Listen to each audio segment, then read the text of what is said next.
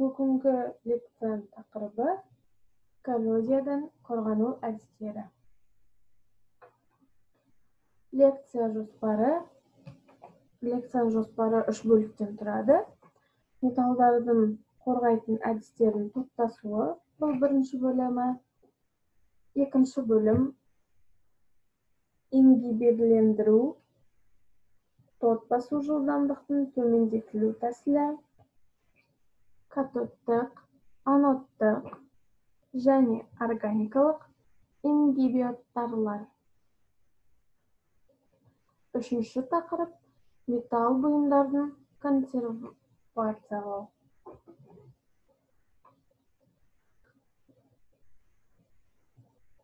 Тот басудан қорғайтын техникада әртүрлі әдістермен жүзеге асырылады. Ең ұтымды және сенімді жол бұл металл тәрізді тот басу берік және металл емес материалдардан аппараттарды машиналарды және тағы басқаларын дайындау болып табылады. Дегенмен де тот басу қорғаудың бұл жолы әрдайым экономикалық технологиялық және техникалық шарттарда қолданыла бермейді. Өндірістерде жиі бұйымдарды аппараттарды арзан және мүмкіншілік материалдардан жасалынған құбырларды жоғарғы механикалық және технологиялық қасиеттерді келесісі осылардың тот басудан қорғауды дайындайды.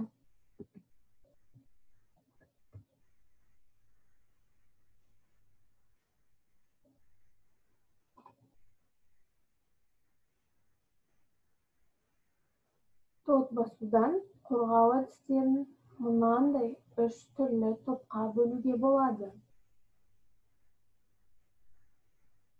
Біріншісі металлға әсер ету тобы. Екінші топ агрессиялық ортаға әсер ету тобы болып табылады. Және де соңғы үшінші топ комбинирленген қорғаудың әдістері тобы болып табылады.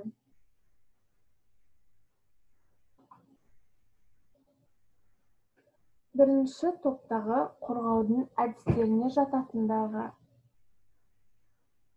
а. Металдарды легірлеу. Ол дегеніміз экрандалған жазықтың қабатын жарату. Кіріспе элементі. Катодтық және анодтық қорытпа белсенділігінің төмендетілуі. Кіріспе элементі құрылыс тот басуын қорғау. Б. Металл жазықтығын өңдеу. Ол дегеніміз термиялық және термохимиялық өңдеу. Жұқарту жазықтығының дірілдеткіші. Химиялық және электрхимиялық шаңдату механикалық өңдеу оның ішінде бекемделу шығыршық және тағы басқалары. Жазықтықтағы модифицирленген тотық болып табылады. В қорғаныс жазықтығына қондыру дегеніміз ол тұрақты немесе уақытша және кезеңдегі қорғалыс. Кезеңдегі қорғалыс ол майлау және балауыздар. Тот басу беріктің материалдардың таңдауына арналған үйлесім қанауының шарты болып табылады. Және де д ұтымдық құрылым ол дегеніміз агрессиялық ортадағы құрылымдықтың бөлек нәтижесі агрессиялық сұйықтың аймағындағы түйіншекті шығарып тастау және де соңғы е бөлімі электрохимиялық қорғаныс болып табылады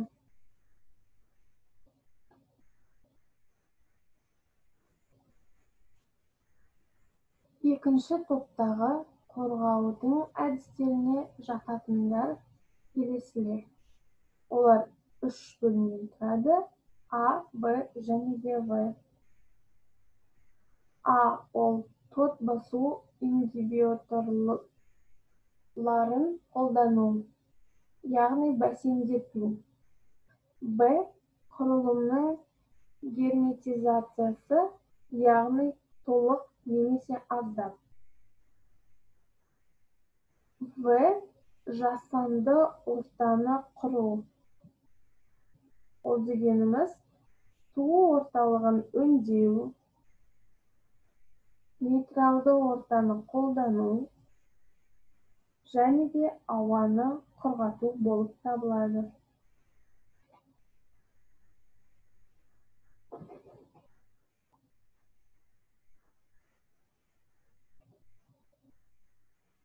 Үшінші топтағы қорғаудың әдістеріне жататындар. Бұл топтағы әдістер қорғау әдістері де үш бөліктен тұрады. А. Металл қорғанысының жинақтылықтың әсер ету өлшемі. Б. Агрессиялық ортадағы жинақтылықтың әсер ету өлшемі. В бөлімі металлға және де агрессиялық ортадағы жинақтылықтың әсер ету өлшемі болып табылады.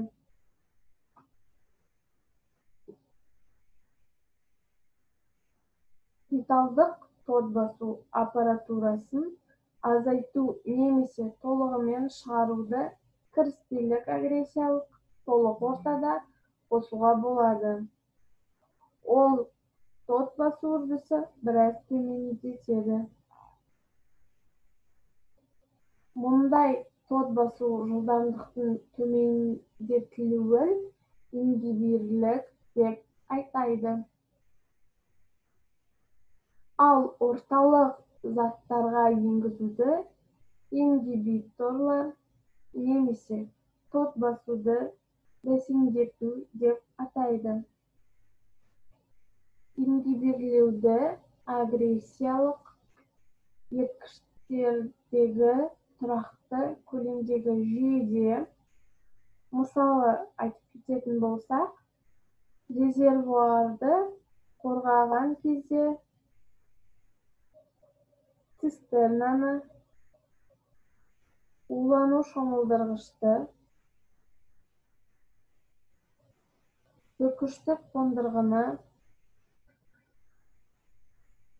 қаспақтануды шешуде және де тағы басқаларын қолданады.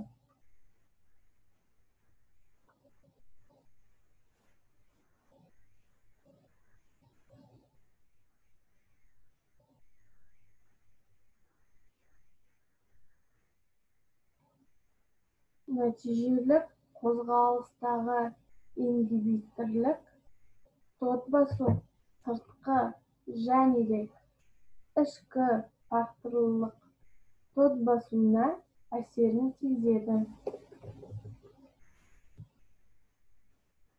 Оның ішіндегі ең маңыздысы болып табылатын pH ортасы яғни ол қышқыл нейтралды сілтілі болып табылатын және ингибитор концентрациясы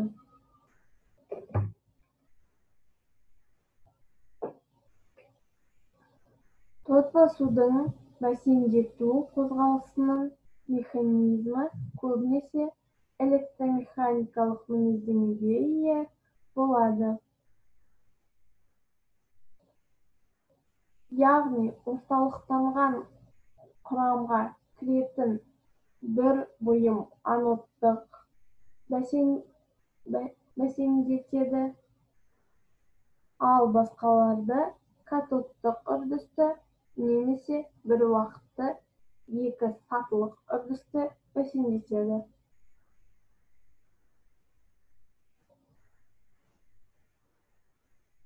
Мінездемелік қорғаныс қозғалыс бойынша қолданылған ингибиторлер катодтық анодтық және органикалық деп бөлінеді.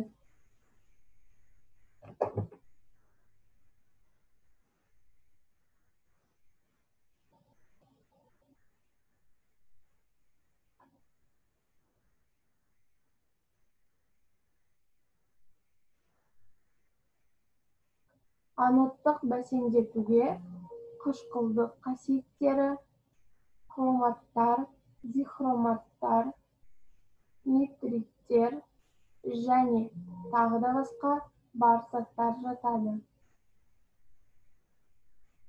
Олар металл анодтық жазықтықта немесе пассивтелген қорытпаларда пайда болады.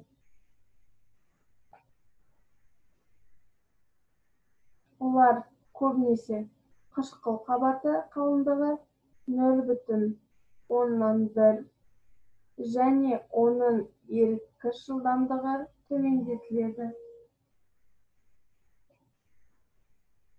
Тот басу жылдамдығының төмендетілуі еріткіштегі металдың қайта жүруінің тоқтап қалуына әкеліп соғады. Немесе қорғаныс қабаттарының пайда болуының жазықтық анодтың қысқартылуына әсерін тигізеді.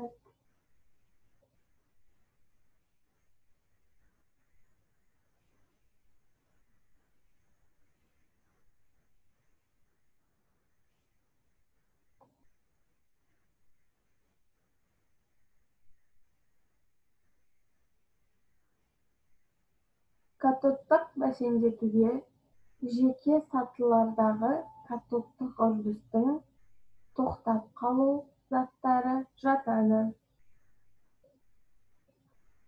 мысалы алып келетін болсақ үрдістерде қышқылдық деполяризациямен жүретін еріткіштегі оттегі концентрациясының төмендеуінің нәтижесінде тот басу жылдамдылық азаяды.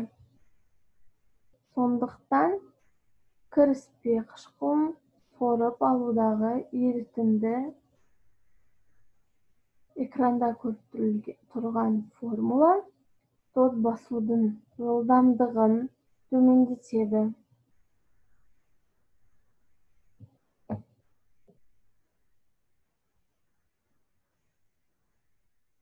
Басуды катодтық бәсеңдету катодтық бөлімдердегі жазықтың қысқарту арқылы азайтуға болады.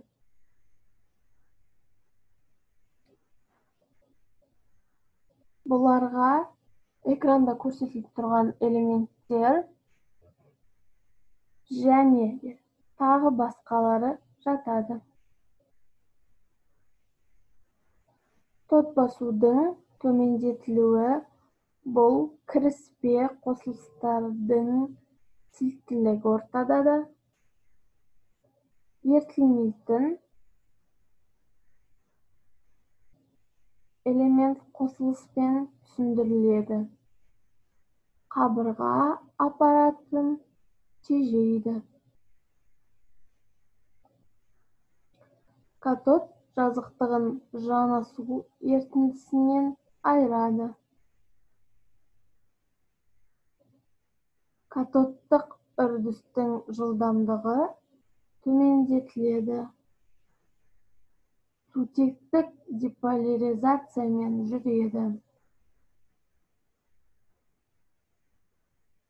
Кіріспе агрессиялық орта заттарында болуы мүмкін. Катодта қайта қуаттылығын жоғарылатады. Мұндай заттар ауыр металдардың қосылысы экранда көрсетілген элементтер және де тағы басқалары болып табылады.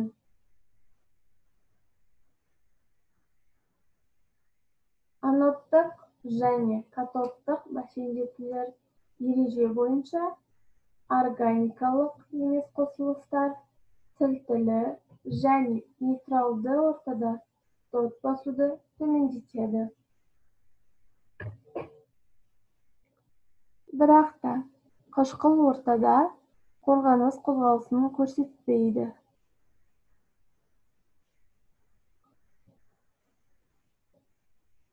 Қышқыл ерітіндідегі тот басу металл сутектік деполяризациямен ағады.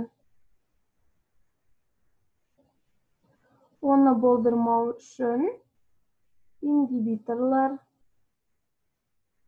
жоғарғы қайта қуаттылықтағы ион сутекті қайта қалпына келтіру және де ионизация металдарының әсерлесуі жатады.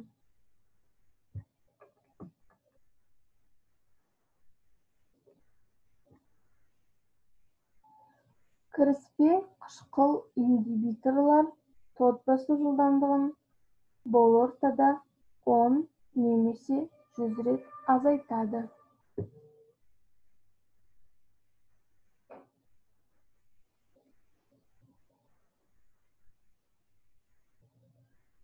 Органикалық бәсеңдетуге органикалық коллоидтар жазықтық белсенді заттар және де басқа қосылыстар жатады.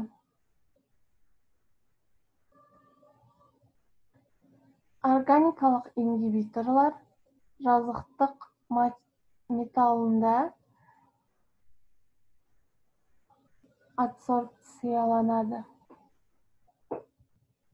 Барлық жазықтықта болады бірақ та катодтық бөлімінің белсенділігі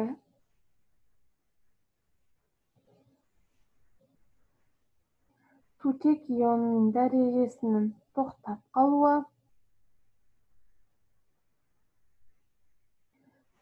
сондықтан да және металл қирайды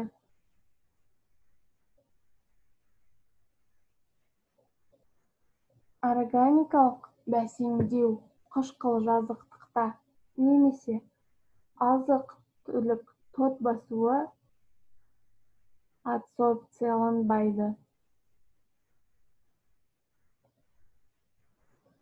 Сондықтан олар агрессиялық қозғалыс ортасында қиратылады.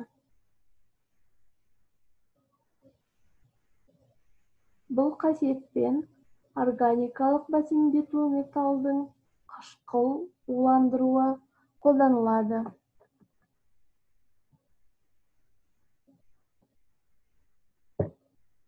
Металдың тот басуы білінбей қалғанда тотық және қабырша ериді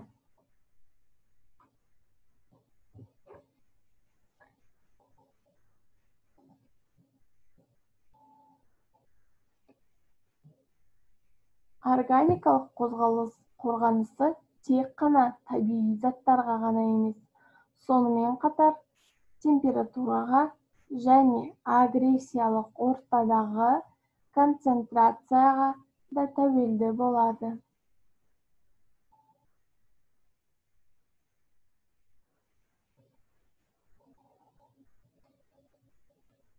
Температура жоғарылаған сайын адсорбция оның жазықтығы азаяды.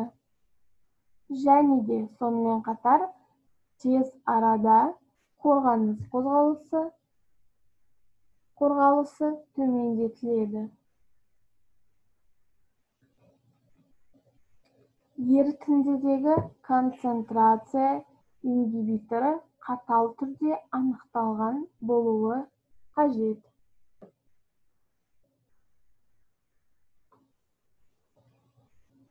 Полиметаллды жүйелерде міндетті түрде ингибитор қоспасы қолданылады.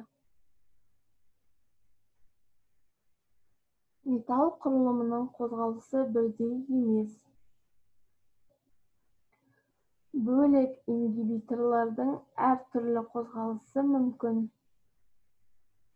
Эффектіліктің әлсіреуі яғни антагонизм эффектіліктің өсуі яғни синергизм болуы мүмкін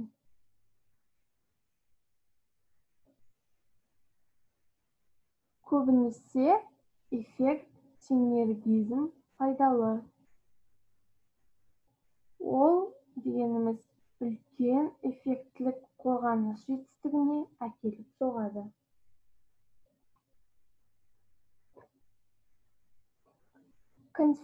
Консервациялау қорғаныс кезіндегі тот басудың әдейі қорғанысын немесе тасымалдау түсінігін береді.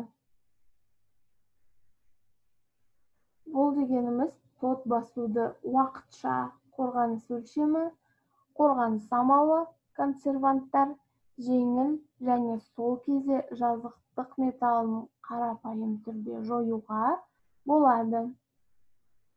Бұйымды міндетті түрде жұмыс күйіне әкеліп соғады. Консервация амалы төрт топқа бөлінеді. Май және майлау тот басу ингибиторлар тот басудың кептірілуі инерттік атмосфера. Консервацияға жиірек қосымша ингибиторлар қосылған жұмысшы майлар консервациялық салмақтықтан кейінгі бес және он бес пайыз аралығында саны қолданылады.